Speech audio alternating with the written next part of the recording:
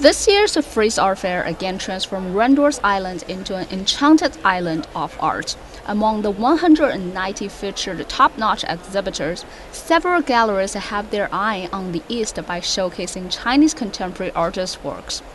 With branches in New York and Hong Kong, Lehmann Maupin Gallery this time brings mainland Chinese artist Liu Wei's works.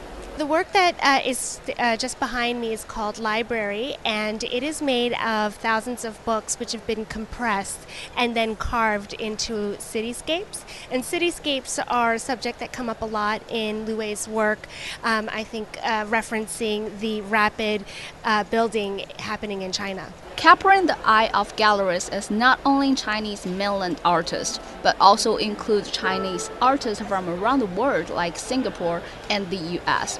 Gallery PPOW showcases one work titled Heaven by the late artist and graffiti collector Martin Wong.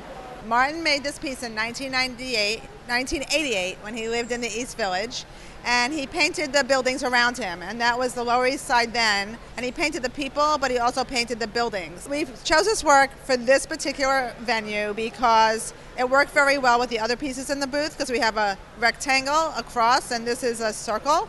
So we have two classic abstract shapes but they're also about people and the body and about culture one Berlin-based gallery brought video art by Ming Wong a piece featuring an analog TV set that plays a short film entitled After Chinatown. He's wandering through the streets of San Francisco where the film has been set up.